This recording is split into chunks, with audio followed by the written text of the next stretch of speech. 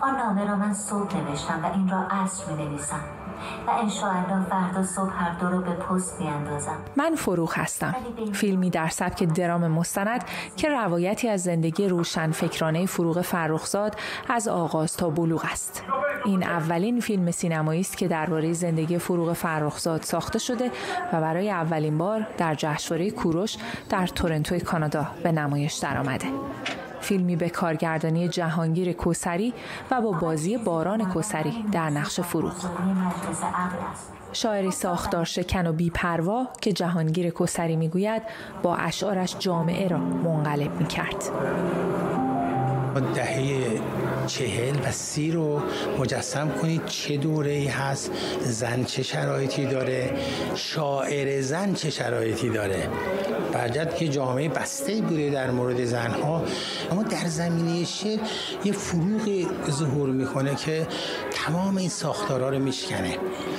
نمی‌دونم شاید این قصد و داشت خودش که در واقع این کارو بکنه. آره بریم اگر توی در واقع ایمان بیاوریم به آغاز فصل صد می‌بینیم. آره داره اما تو کتاب اسیر که تو فیلم ما خیلی مطرح هست و شما دیدین خب خیلی یک در واقع زن 17 ساله 18 ساله بتونه شعری بگه که بتونه جامعه رو یه تکونی بده. و این اتفاق میفته با شعر گناه.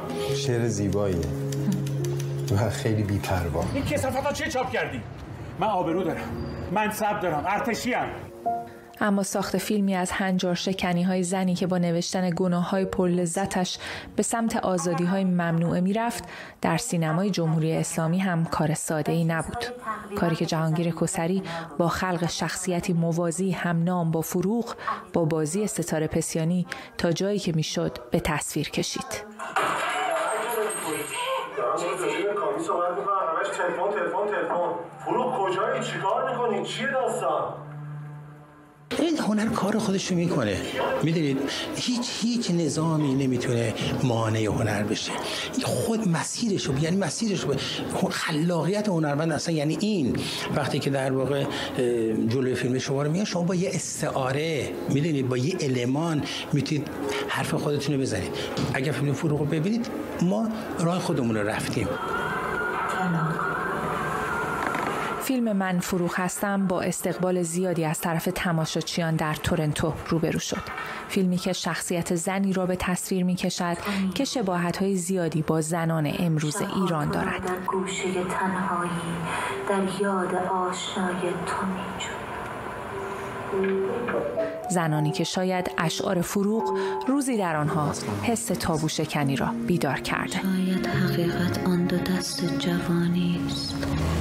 محسا مرتزوی تورنتو. برف مدفون شده است.